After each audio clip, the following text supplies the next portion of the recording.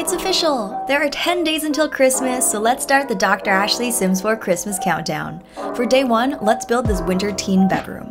But first, the question of the day. Have you finished your holiday shopping yet? Let me know your status on that because if I'm being honest, I haven't really started much at all and I'm panicking. So for this bedroom, I was thinking a classy rich teenager lived here. Their decor is very polished and expensive looking, and they even have a fireplace in their bedroom. I don't know about you, but you know you're rich rich when you have a personal fireplace in your bedroom. I definitely feel like this person would want their holiday decorations to match their room's aesthetic, so instead of incorporating a lot of traditional red and green colors, I used more neutral swatches. I even ended up using the white Christmas tree from Seasons to pull it all together. I think what I love about this room is the fact that even if you take the decorations off, the room would still be really pretty and the essence of the room would stay the same. The holiday decor complements the room but doesn't take over. What do you think of this room? Let me know in the comments and don't forget to check out my YouTube channel for even more Sims 4 builds.